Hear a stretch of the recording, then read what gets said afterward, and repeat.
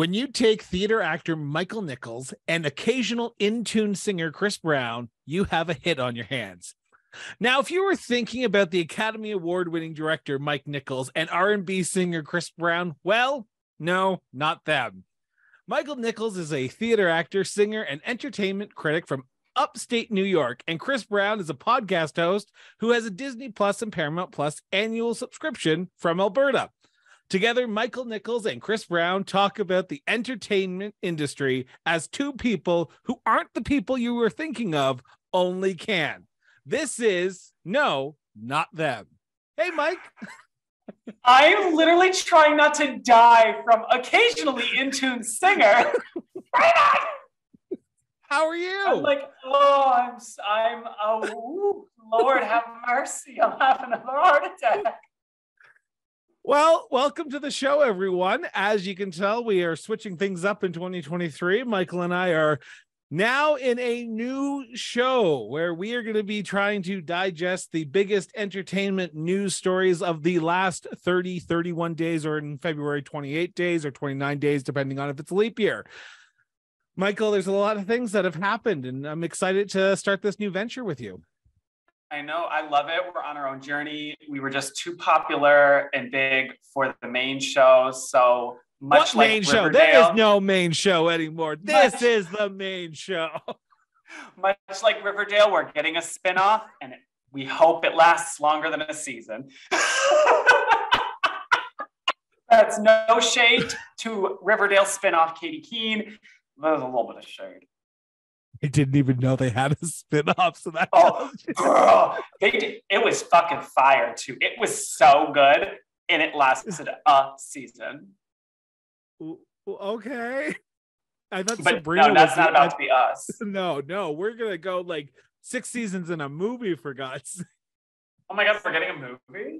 Totally. Um, lots of things have happened over the last 30 days since we last chat. Well, actually, we last chatted on the cross-border interviews in early December, but in January, starting the new year, we have lots of things to digest. And the biggest one I think we have to start with is Alec Baldwin.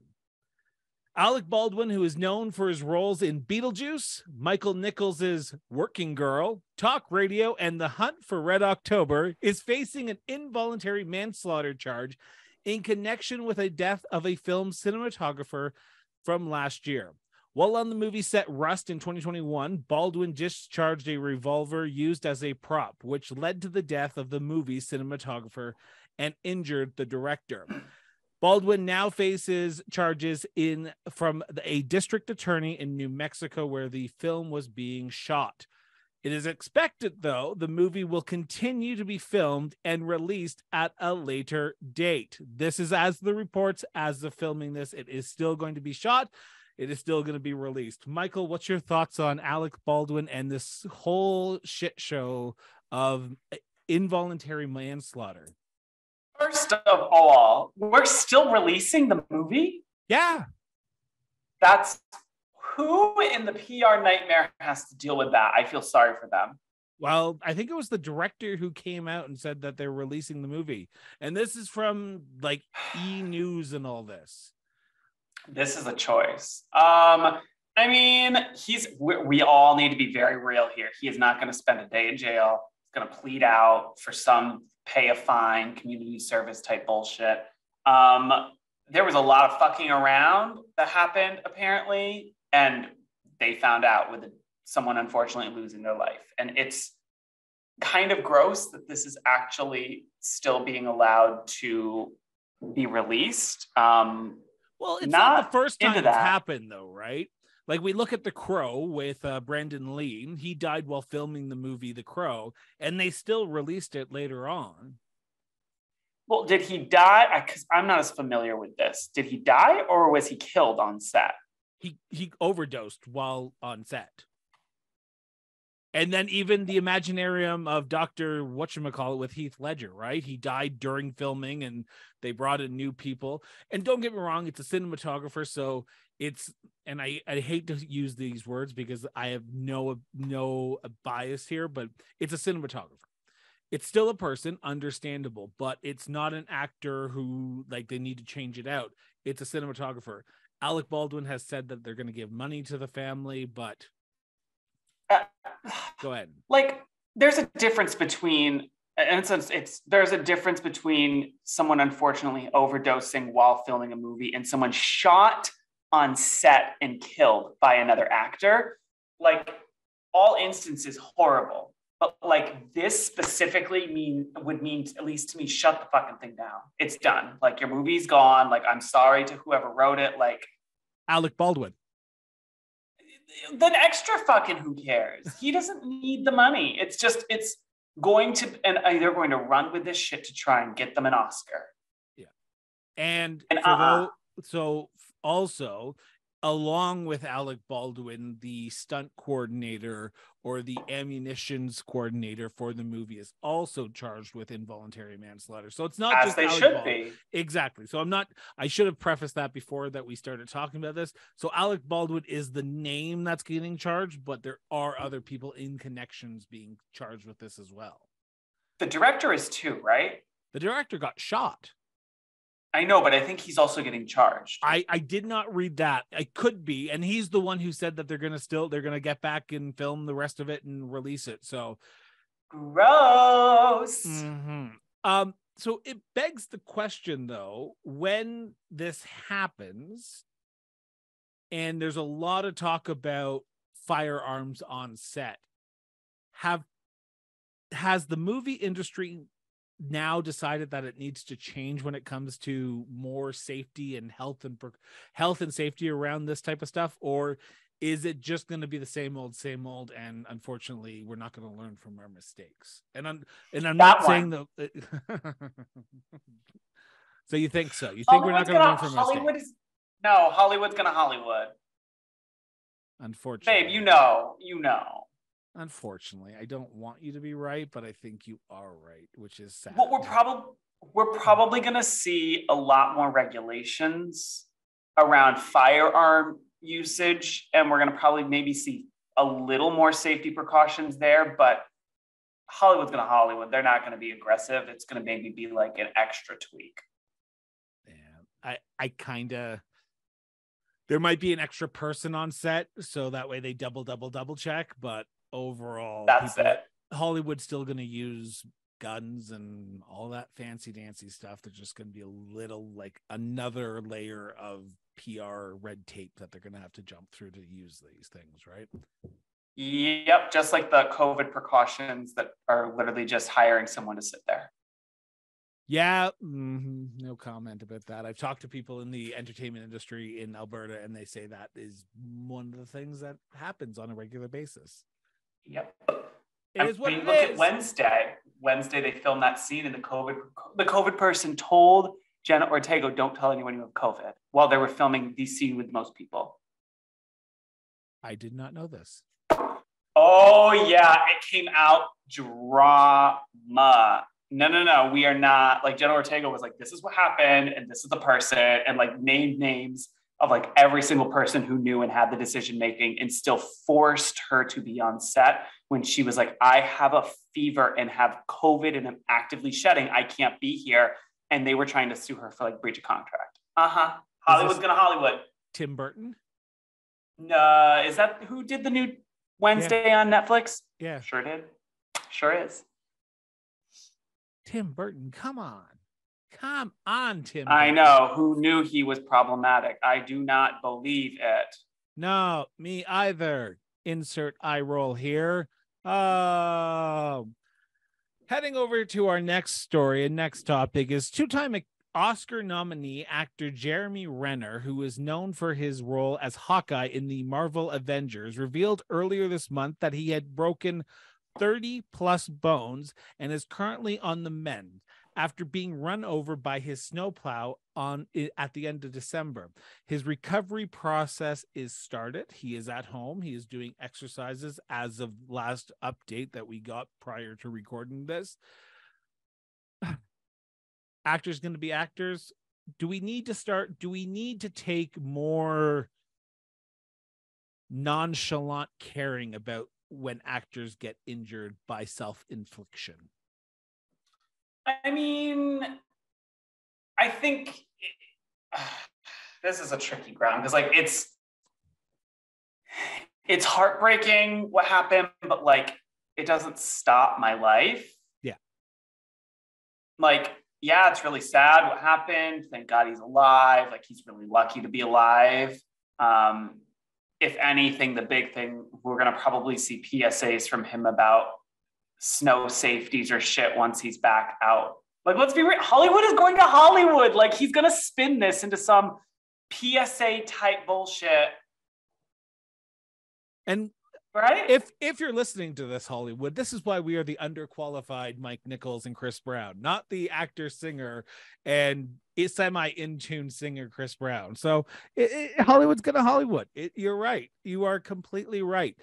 It is an when I heard the story, I, I kind of felt the exact same way that you did. I felt sorry for a second, but then I thought, okay, back to my life, back uh-huh. to my day to day life. Like I I, I feel sorry for his family. I feel sorry for him for what what happened to him, but he's gonna come back. He's gonna make twenty million dollars on his next movie, probably more than I'll see in my lifetime, unless I win the lotto.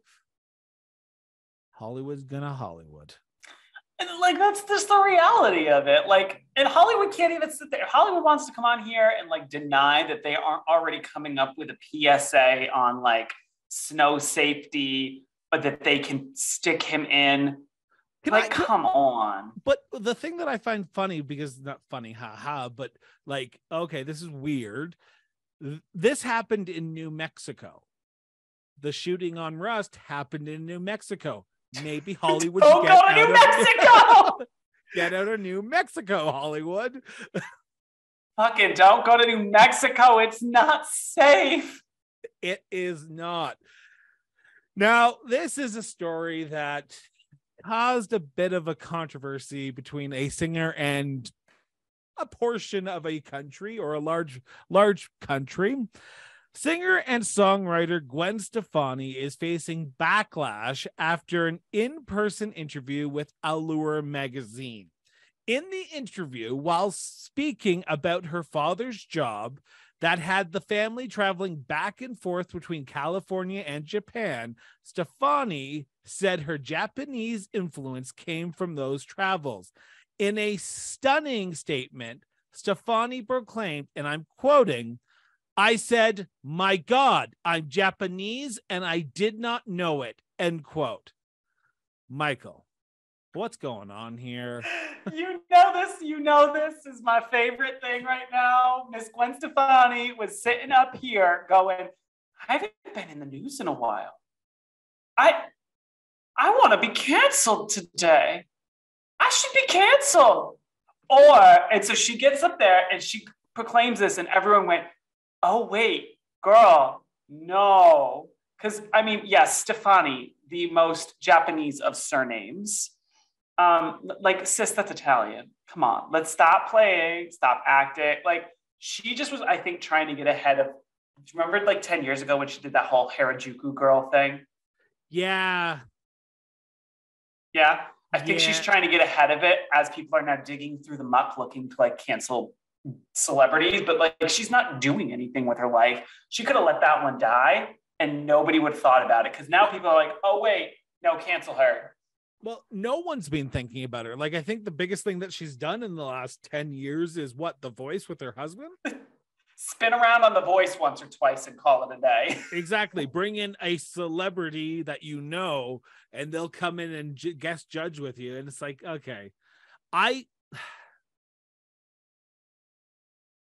I read the article because I wanted to see what this was all about when you first and it like the the shit that she shovels goes deeper and deeper as you read more and more. Like I could imagine like the Allure magazine when they tried to do this interview, it was going to be something else. Then you say something like my god, I'm Japanese and I didn't know it. Like did you not expect people to be upset about this? Like I just don't understand why a celebrity, God bless them, because people seem to pay attention to who Gwen Stefani is. why they would open their mouth and say something so stupid and idiotic like this. But like, do they? I'm gonna be real. I haven't thought about Gwen Stefani since I saw her in Irvine in 2016. And then haven't thought about her since, other than when she pops up on The Voice and I go, Gwen, what the fuck are you wearing? And you don't know anything about music. She don't. She does not know how to coach music. She can sing gorgeous, cannot coach.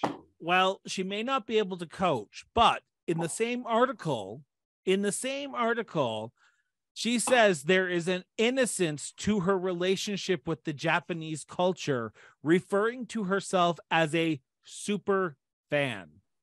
Now, I'm a super fan when it comes to Doctor Who, and I could tell you which Dalek was killed in which episode. I'm not a super fan, and don't get me wrong, I'm assuming the Japanese culture is great. I probably wouldn't be able to tell you much about it because I've never been to Japan, but it seems like she is she was trying to attract Japanese fans to her, but what she's ultimately done is push them away.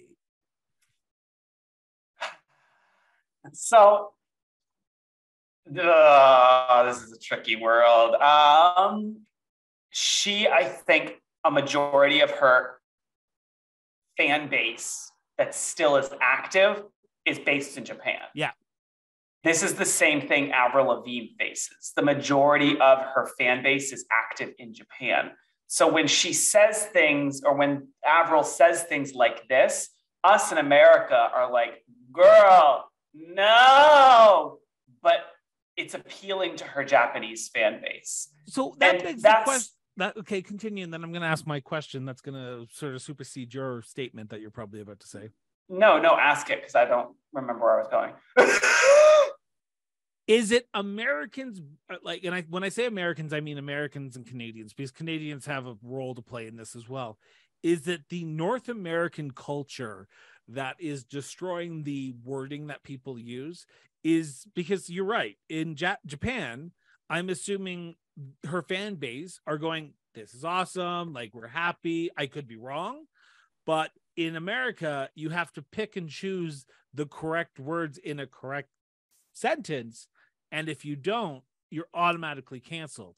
Here, like you said, it may have worked in Japan, but in Canada, in the United States, it could be seen as cultural appropriation.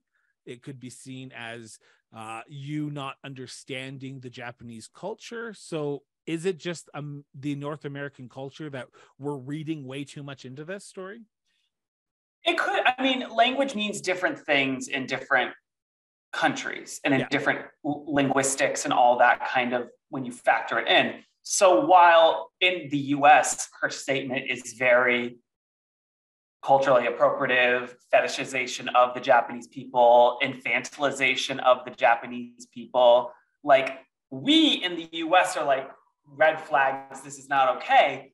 In Japan, because I'm not as familiar with that, with the Japanese culture, it probably, it may not have had the same red flags that we got here in the North American continent. Yeah. Now, on to the next story, which we are going to go inside the wrestling ring for this story because former WWE star turned actor Dave Batista, or however you pronounce his last name, in an interview with Variety said, I never want it to be the next Dwayne Johnson. I just want it to be a good effing actor. Now, change effing to the actual swear word and for those who don't know, Dwayne Johnson is the former wrestler The Rock. The interview with Variety has ignited some friction between the two former WWE stars, and he Batista has also been making headlines with interviews regarding acting and his Marvel movie roles. Um, is this biting the hand that fed you, Mike? I love that the girls are fighting. I love live, laugh, love. I read that and had to reread it a few more times. I'm like, oh, she's really coming for the rock. Um, like full, like coming straight. If, if the rock was wearing a wig, snatched, like full snatch. Uh, brilliant. Love it. Dave Batista, though, commenting on how Marvel is silly and he has done and blah, blah, blah. Like, that got you your first little golden ticket into Hollywood. Maybe we shouldn't be shitting on the fucking but Marvel in, because in the article with Variety, he goes, I don't care about the glamour, the glitz. I'm okay with living in Tampa, Florida, where I live. I don't need the Hollywood that Dwayne the Rock is chasing. I'm comfortable with just being who I am and going into more serious roles. But to get serious roles, you had to prove you could act. Yeah.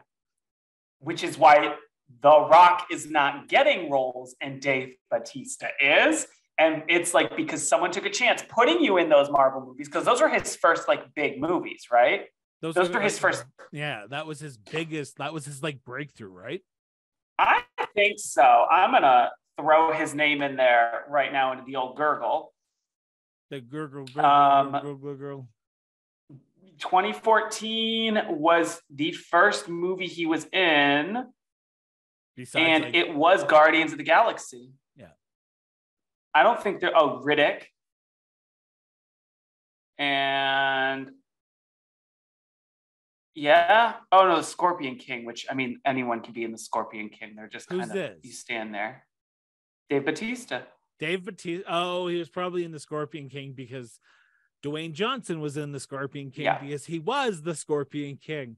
Um, this no he literally his first real like other than riddick which i don't think he was a big name because i clearly don't remember him was guardians of the galaxy so like bro you started doing movies and being taken seriously because you got a chance taken on you the uh, how do I say this? The the WWE act uh, the, the WWE wrestlers because they're not actors. Wink, wink. Um, they've always been compared to The Rock. When John Cena made his switch from WWE to acting, there was always that idea of are you just The Rock who is skinnier, smaller, and whiter? And you called him smaller ah you are now coming for john cena's wig well, I'm sorry. If he could act, I could actually watch it as something that he's in. So until then, I'll uh, I will hold my breath. Um, again, Matched. under un, underqualified. I have a Disney Plus subscription and a Paramount Plus subscription. That's my qualifications for doing this show. I you don't. get paramount plus now Uh, yeah. Fuck off. Fuck off. Okay. Just because we're Canadian doesn't. Woo! For those who are not watching this, tune over to YouTube. Um, is The Rock the gold standard of WWE stars? No. Tur- okay.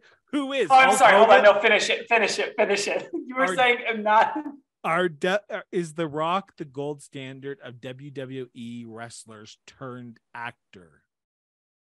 I don't know about gold standard. He- they're the he's one- like, Definitely the He's the bankable name. one, right? He's the bankable one. You put The Rock in something, it's gonna do well.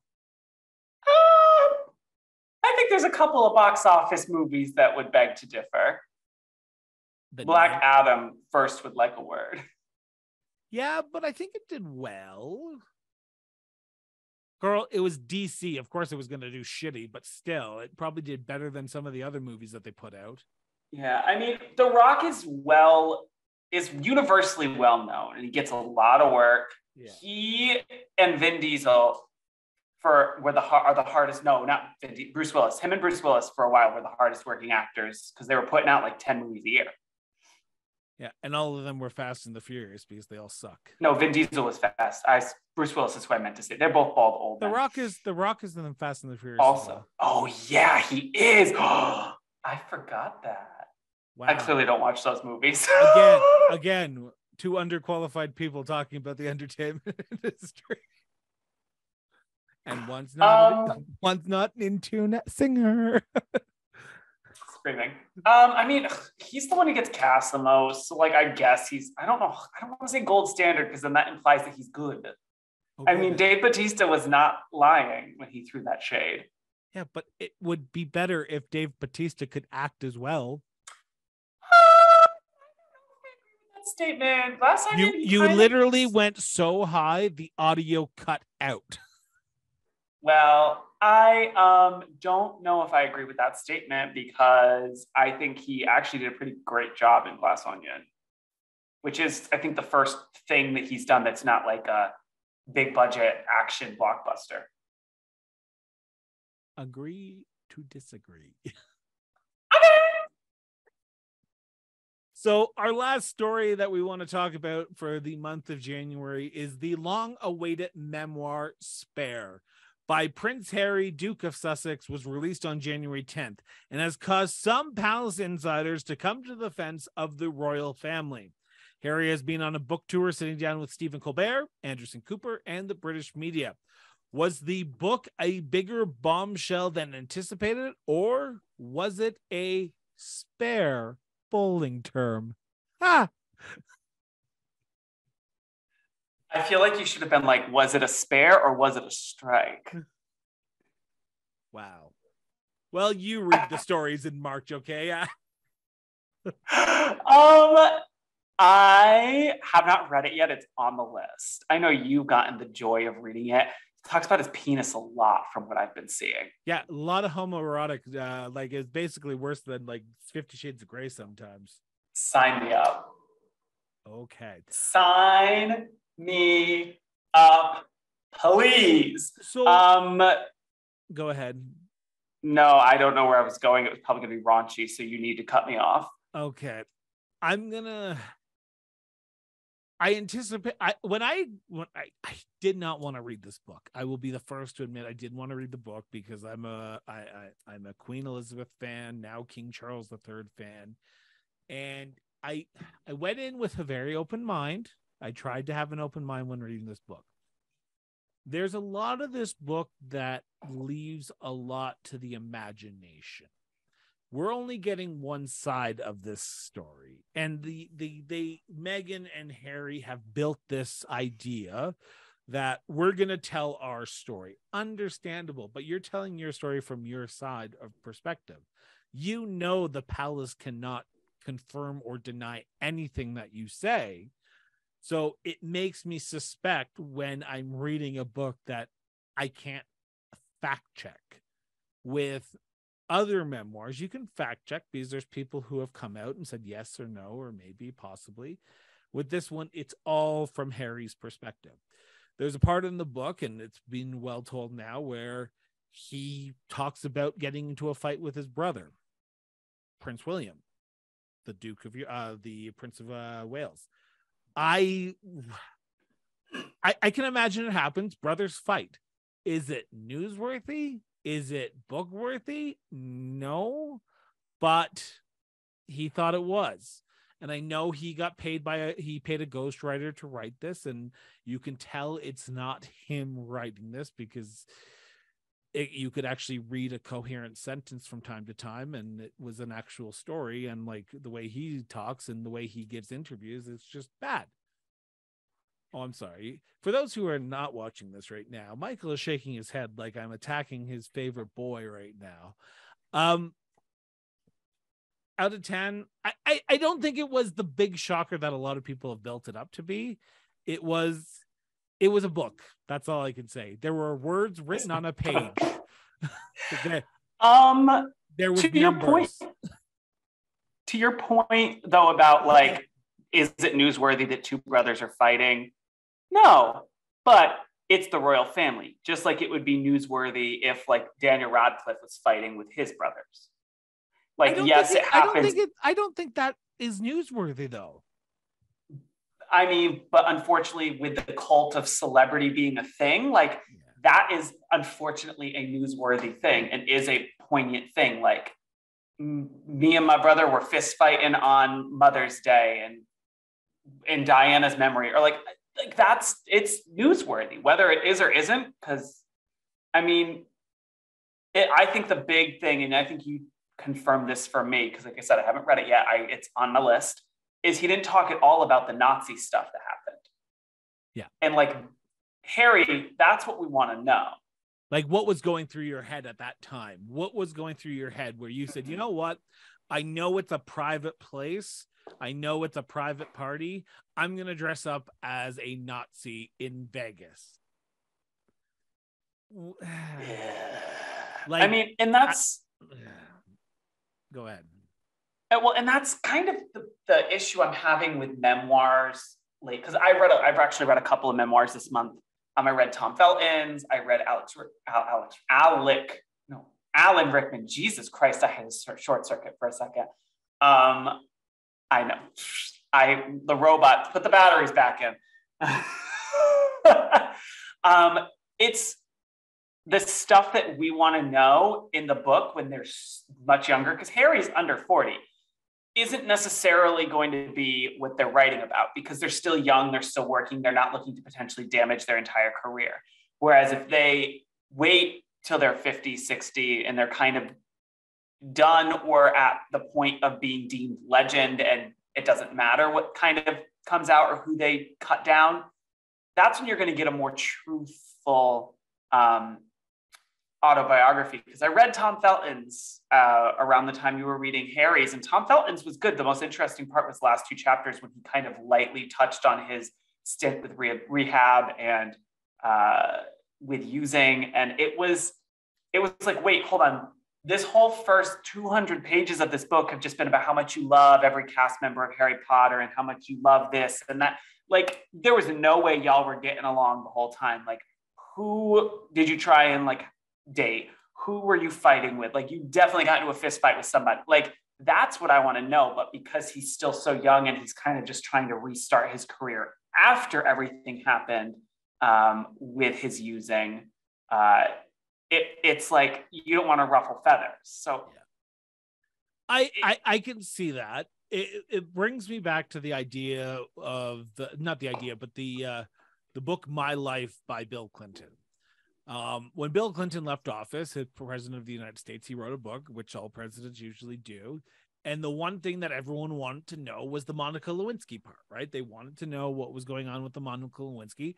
And literally it was about a paragraph and a half it wasn't that much in detail like it might have been two pages tops and everyone wanted went okay well this isn't what we like we we yeah. don't care about the stupid stuff because honestly you're not going to be remembered for the peace accord that you signed between Israel and Palestine you're what you're going to be remembered for is putting a cigar where the sun doesn't shine for in a woman so i don't understand uh why some things were dropped and maybe book 2 like spare two call it a strike like maybe that's what the sequel is going to be called.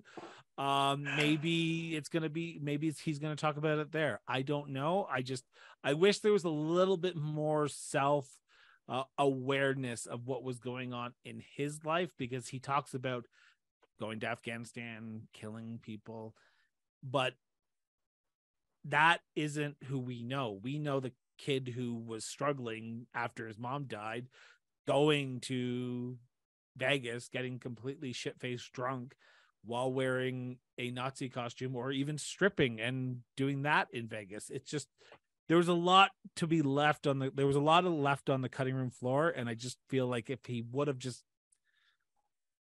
focused it a little bit more it would have been a lot better for me. I would highly recommend it if you want if you're a Royal fan. It may not be your cup of tea though. I have two questions. Go for it. One, does he talk about the reality show he did in the US? Oh, he did a whole dating reality show in the US. Okay. He talks about dating a celebrity and how she like which caused controversy over in the UK as well because he talks about how she was abused and how the media attacked her and which led her to kill herself not fully, but you know, uh, led to some struggles that she had. And he talks about that, which caused the family of the girl to come out and say, You shouldn't have done that. That was rude. That was insensitive. So, no. And did he call it spare because he's trying to say he's like the spare brother that they don't care about? Well, that's what the, that's what the care that's what the whole thing was all about. Because technically, uh, if you are in line to be the king or queen, you have two children just in case the first one dies. And he literally says that because that was his nickname, sort of nicely. Nickname was Spare because if William died, he would have been king. I mean, Not anymore because Harry and or not Harry, uh, Yeah. George and Louis and Charlotte are all in line as well. I mean, it may. Uh, he has a lot of is, uh, identity issues that would be solved with therapy. Yeah, Prince Harry, go to therapy, please. We all, you know what? Prince William, also, please go to therapy. before you become king in about six years. Yeah, I, oh, I'm a big advocate for therapy, and if there's anyone that needs it, it's the royal family after everything went down with their mother and father. Yeah, and that gets to be replayed over and over again with the crown. Um, Well, everyone's just so fascinated by it, and is so fascinated by this one tragedy, and like specifically the United States is very fascinated by it, and it, it's it's just it's heartbreaking, and to have to constantly be reminded of it, have it everywhere. True. Understandable. It's what it is. So with that, that has been the news that's been well, that's been making the news for the last month. Now we're going to be talking about what what are we reading? What are we watching? What are the things that we're paying attention to? That's right. Mike Nichols, the actor, Oscar nominated uh, director, um, and Chris. Brown, the R the R&B singer songwriter who has been canceled more times than he probably wants to be. Um, so Mike Nichols, no, not those two people. It's Mike Nichols and Chris Brown again. I'm hilarious. I feel like that's gonna get old after like the second episode, and we're just gonna be like, "Hi, welcome to Not Us. This is this." Oh, girl. I am changing it every single time that I possibly can. Don't you know? I'm just saying. I think you're gonna get bored with it. Nope, nope. I would never get bored of making fun of Chris Brown. While we're on the topic, though, of Prince Harry, the book I'm currently reading, Red, White, and Royal Blue, by Casey McQuiston, which is about the first son of the United States and his sordid love affair with Prince Harry. Or Henry, Prince Henry, sorry.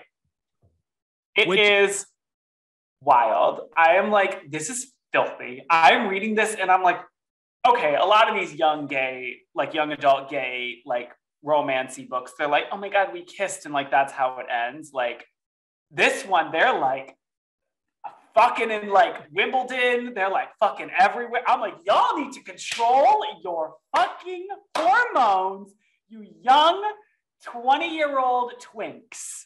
Which, Um, i- if you haven't seen the book, you if you haven't read the book, it's going to be coming to a. Uh, I think it's Netflix that bought the rights to it. and Is it coming to uh, Pornhub? Because, like, Jesus Christ, they're constantly like fucking rabbits. Well, I mean, I'm here for it. I'm like reading this, and it's funny. It's really, really funny. I'm like cackling reading through it. I'm like, this is great. Like, the writing is so smart, but it's filthy. It's raunchy. Raunchy. I want to know, Miss Miss Casey, what sort of disturbing fantasies are you concocting up, and how can I be included? well, I think there's like three sequels to it, isn't there, or at least two? Don't tell me that. I think so. I could I'm gonna have to buy them all. Um, It's better than Fifty Shades of Grey, is what you're saying? fuck who? Fifty Shades of No, thank you. Um, and then I actually started a book club with uh, a bunch of friends of mine, and our first book that we read was A Court of Roses and Thorns by Sarah J. Maas. Another romance novel, except this time they just ripped off the plot of The Beauty and the Beast, except with fairies. It's true. And like masquerade masks, I'm like, ooh, okay, we're getting a little family opera up in this bitch. So you're But, reading like- a lot more these days. I am on, this is book number 10 for me since January 1st. Wow, good for you. I've been a crazy person. Um, uh, I also, well, what, what books, before I go to TV and movie, what books are you consuming besides Prince Harry's Kill Uh, so, well, as you know, I've been going through a big Tom Clancy phase right now. I'm reading the uh, last few books that have come out in 2022 and 2021. So I'm reading those. Uh, ever since uh, Tom Clancy passed away, the book writing has gone down, but I kind of feel obligated because I'm so invested into the first like 19 books. I need to continue on, so I'm still reading them. I just read one uh, one of his one of Tom Clancy's books that was written by someone else. I forget his name right now. It's right on my shelf. It's Against All Enemies.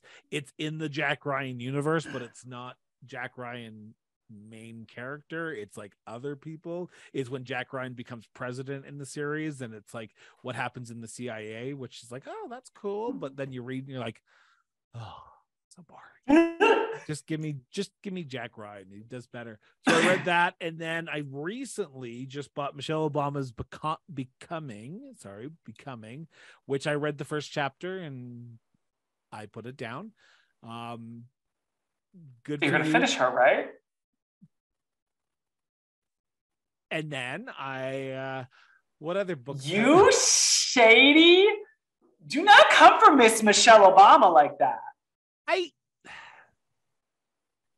I was I was open to reading it. I wasn't going to read it. I read her husband's audacity to hope. I read her uh the other book that he read, uh, Feathers of a Father, I think it's called.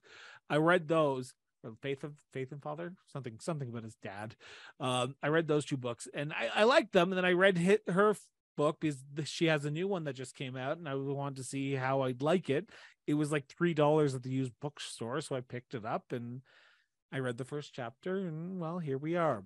Uh the new Cassandra Clare book comes out yesterday as of this airing. So I'm probably about halfway done that book, which is Chain of Gold, which is the third in the series. So I'm looking forward to that one. And then in February, Rick Riordan Presents has four books coming out, and I've already pre ordered them. And I'm looking forward to hitting all of those because Percy Jackson universe is God. Well, that's what I'm Literally.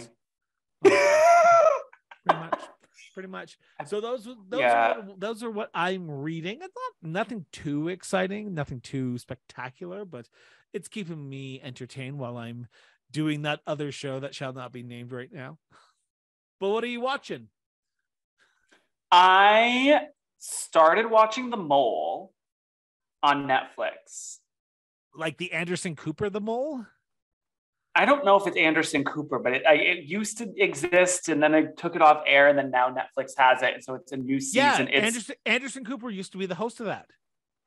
I oh, know- and like somebody's secretly the mole trying to lose the money. It's, I'm literally over here like calculating, like I look like that dude with like the strings, like that meme of the guy with the, yeah. str- if that's what it's from, where I'm like, like trying to figure it out. My husband was like, I don't want to watch this show. It's dumb. And now he's like, who's the mole? What's this? What's happening? I'm like, oh, I thought you did not want to watch her. has it come back? I don't, I don't, it's, it's back on Netflix. I mean, it's, I'm halfway through the Netflix season. Um, it's brand new, like brand, brand new. Cause I saw it on TikTok. Someone was like, oh my God, the mole. And I'm like, who's this? Um, and in keeping up the vein of watching television programs that are reality shows, I also watched The Circle and am very pleased with the winner, despite the fact that I felt it should have been someone else. It was one of the three that I wanted to win with who was left. So I'm okay with that. And then uh, let's see. I also started Kaleidoscope. I'm about halfway through, but I find Are the you like watching it in uh, not the order that it's presented on Netflix, but in different orders as they say you can? Yeah and i'm I, it's jarring. Like i want it just chronological. I it's very difficult to follow. It's great acting. It's brilliant writing. It's so cool. It's just so hard for me to like focus on it. Uh, and if, if it's something that i have to put so much attention to when i'm watching it it makes it difficult for me to sit there and binge it which i mean props to them. It means i'm going to watch it for longer. But it's just i, I I want to be able to kind of sit down and like focus, but not have to be like so intently aware of like what time period is this? How close to the heist is this? What's happening? I assume you watched Kaleidoscope also. I watched it in uh, because I saw an article that said you can watch it whatever order and you always come up with a different ending no matter what. And I was like, I challenge you to that. So I watched it in a random order, got some of my other friends to watch it in the actual order. And I was like, oh, how'd you like this? And they're like, oh, it's like, yeah, okay, understandable. So I loved it. I loved it. I thought it was amazing. Amazing. Yeah, I um I'm still about halfway through. I don't I'm I don't know. I kind of set it down. I'm like, this is a lot of brain focusing I need Yeah. to do. And for me, the guy with the tumor in his brain can't focus, and I do. what? Um, what am I watching? We just finished Salem. We watched the first three seasons of Salem that came out earlier in like 2017, I think it was. So we finished that. We loved it. Um, my husband's a big witch and vampires and all that stuff, so we watched that. So that was good. Uh, what other show have we been watching? We watched National Treasure: Edge of History. Oh, I do Eh. like that one. Eh, Um, Uh, we got Catherine Zeta-Jones. we got into four episodes. We're only four episodes in right now. So as of recording, we're four episodes in. I'm liking it. I like Ben, uh, not Ben Riley, uh, Riley, uh, Riley coming back. That was what I was looking for. I like the throwbacks that they're doing to the old uh, movies, which I was happy for. Overall, though, eh, um, Catherine Zeta-Jones knows how to wear a fucking outfit between National Treasure and fucking Wednesday. I'm ready to like physically fight her. I love her so much. She's great, great actress and looks fucking stunning in everything. so that's his unqualified opinion. My my unqualified opinion. You are just so beautiful. Um, she's she's there. I will fight you. Okay. I don't mind it. It's not my favorite go-to, but if it's there's nothing else on, we throw that on. Uh my husband and I've been watching Pose, Pause, Posey, Posey. Pose. Yeah. Uh, Ryan Murphy's with Yeah. MJ. So so we got through the first season. We're gonna head into season two now, and eh, it's not bad. Uh I don't know uh what's his name, the guy who played Dahmer in the Dahmer series. Evan Peters Evan Peters. doesn't is- come back. Oh, good. Um, I lo- I don't. Kate Mara was awesome in it though. Kate Mara as a freaking like, ooh, ooh. and uh, Elektra. Oh, Dominique Jackson, brilliant. oh, That's, the act- Elektra. that's the actress's name. Okay, so that's Yeah. what we've been watching for movies. We haven't been watching much, which we're going to be talking about in a few minutes. Why and what we're going to be doing over the next few months. Um, but overall, it's been a pretty uh January month that a lot of shows hasn't re- haven't returned yet, and they're just slowly getting back up to start. So yay! Okay, I'm so that- happy you're watching Pose. I feel like I was trying to for years get you to watch it. So I'm so happy you're watching it though. Um, did you ever watch Roseanne? Yeah. You know that last season, how it like really jumps the shark? Yeah, I've heard that on season three. Sure does. But I'm not gonna lie, I was here for it because like I heard it like jumps like 15 years within like three episodes. And Yeah. you're like, what happened here? What's going on? What's happening? it's I really liked season three because sometimes you just want to see something happy. Like Which is weird. want- Season three isn't on Disney Plus yet. oh, it Yeah. might be on Netflix or Hulu still. We don't have Hulu. Um, Remember, I'm trying to unqualified. We only have Paramount Plus and Disney Plus. I have my brother-in-law's Hulu. We wouldn't be able to get it in uh, Canada. Really? That's We've, problematic. we've tried, and because everything on Hulu is on Disney Plus in Canada, Oh, because That's weird by the same company. that's so weird. Pose isn't season Yeah. three isn't. It's It it's it's a great show. It's fun. Ah, so we turn to our last segment, the big one. The big mother of all award shows has announced its lineup for the nominees for the 94th Yep. Academy Awards, which is going to be in March. And Michael and I have uh, placed our friendly wager bet again for 2023. We have planned to watch all the uh, categories, all the movies that have been nominated, as much as we can find. I think we all watched, but all but one last year.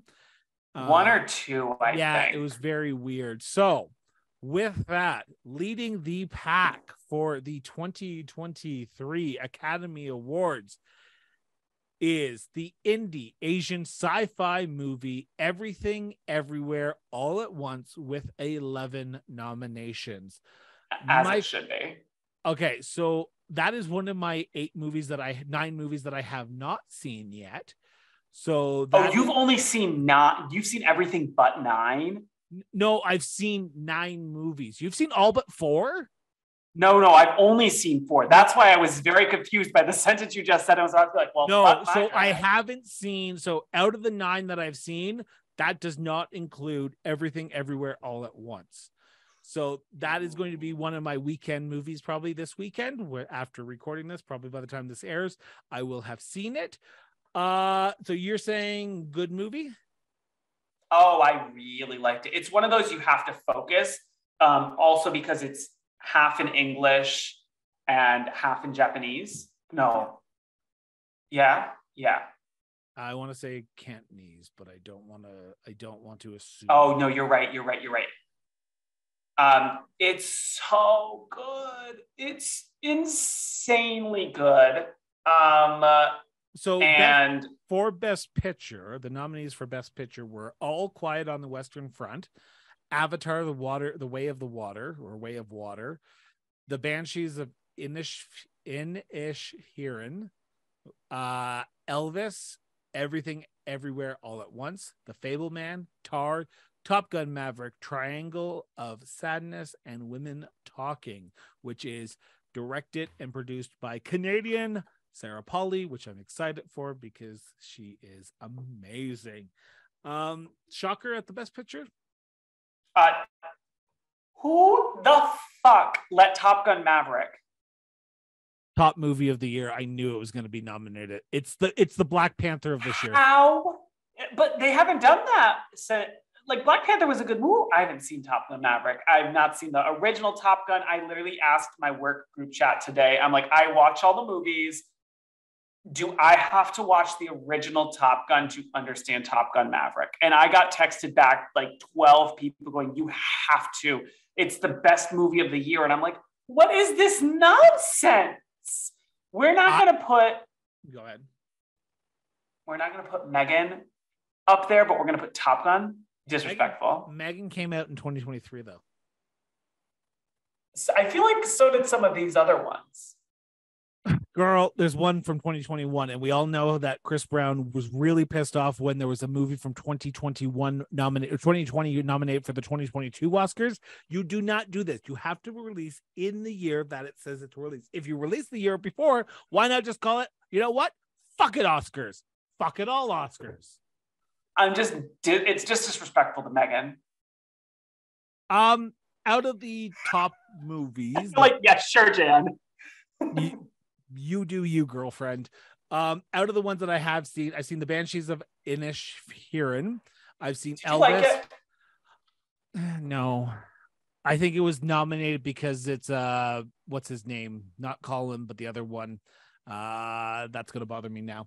Uh I've seen uh Top Gun Mavericks, and those are the three that I've seen so far there.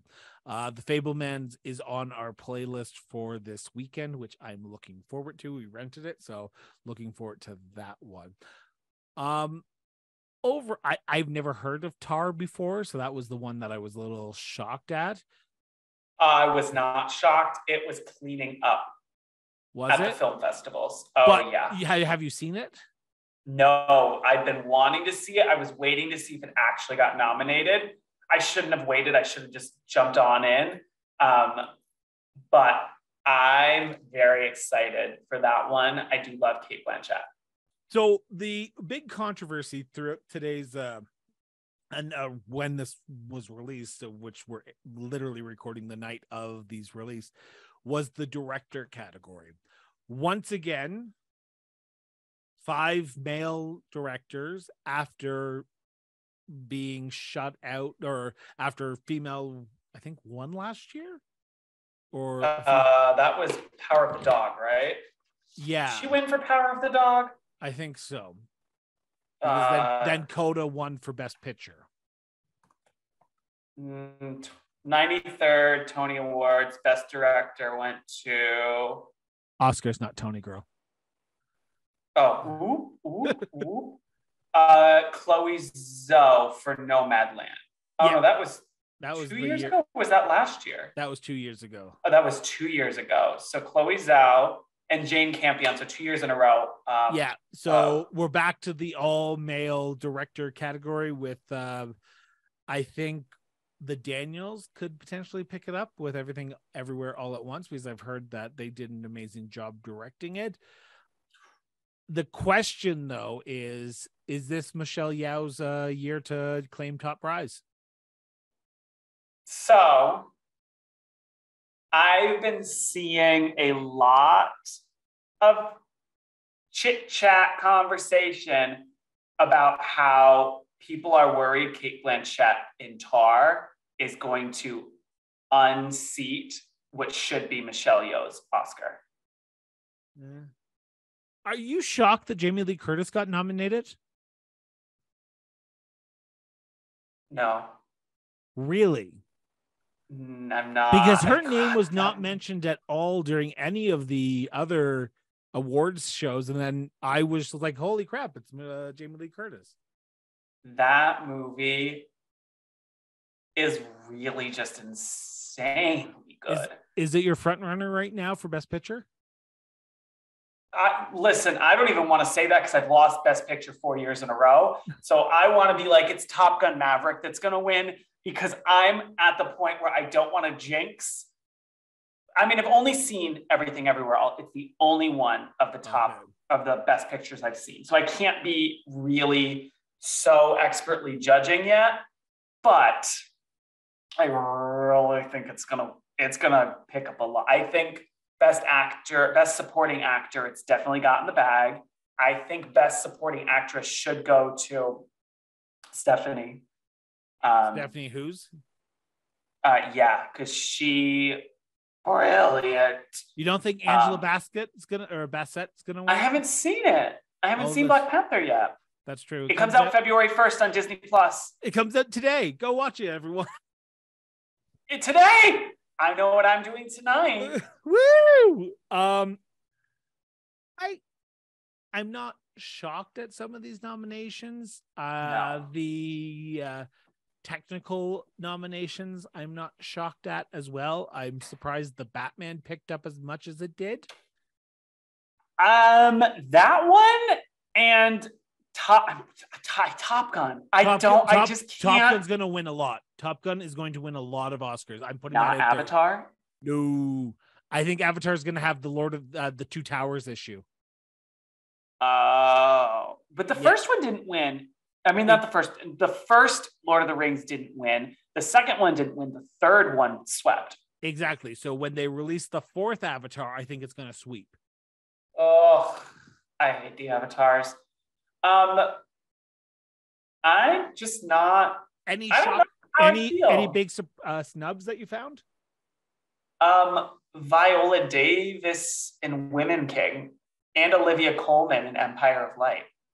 That's what I heard as well. I heard that Olivia Colman and uh, Viola Davis did amazing in those two jobs, in those two roles. but at the same time, if Olivia Colman was nominated, she would have won. So, like, let's just leave that. Let, let's just leave that. I mean, Tom Hanks in Elvis. Razzie Awards. Who doesn't like a good Razzie Award? The fact that Blonde, the Marilyn Monroe character from Blonde, picks up an Oscar nomination, and then everyone else in that movie picks up a Razzie Award nomination. Living. I just don't understand why she got. I haven't seen the movie. It's. I looked at it. I saw it was three hours long, and said, "This is a commitment." Um, black and this is white. like a. I know, this is a marital commitment. Yeah. Watching this movie, um, I might try and ambush my husband with it on like a Saturday or Sunday, and not tell him that's what we're doing. Uh, I'm terrible. That's how I watched. That's how we watched um, West Side Story last year because he had zero interest because he hates West Side Story. Um, and so I was like, surprise! Look what we're watching, and we were already like in it. And he's like, oh, I hate this. Good times.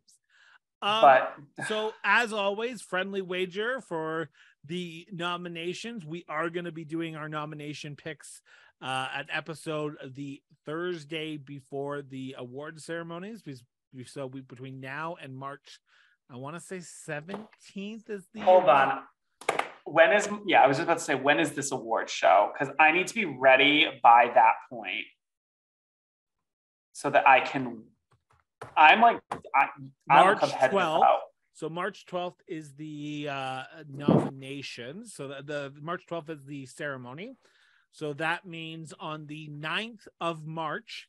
So we have more over a month and a bit to watch as many as we possibly can, which basically means that Michael's reading ability is about to get severely sidetracked until after the Oscars. So there's 54 movies. Yep. I do not watch any movie that only got a song nomination. So, like, if you just got a song nomination, which I think is there's two of them that only got for song, Yeah. They will not be watched. I'm gonna go listen, plug it into boop boop boop on the YouTube, and go, oh, love it, gorgeous, listened, done. Yeah. Um, that's how I'm gonna handle it. I can watch the shorts between clients Yep.